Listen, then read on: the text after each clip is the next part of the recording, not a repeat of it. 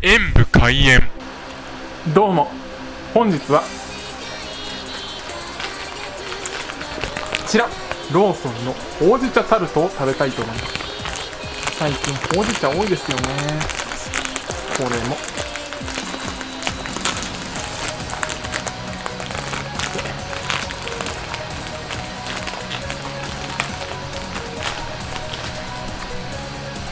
生地もちょっとほうじ茶っぽいのかな。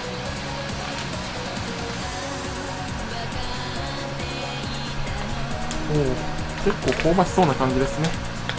ではいただきます。言われてみれば確かにそんな気がしますね。いろいろ見かけます。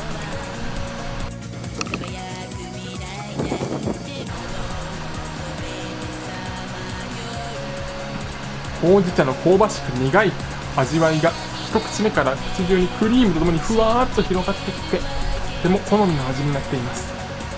自分はこういう甘くないタルトというのもなかなか食べないんですがいいですよね。ほうじ茶侮れません。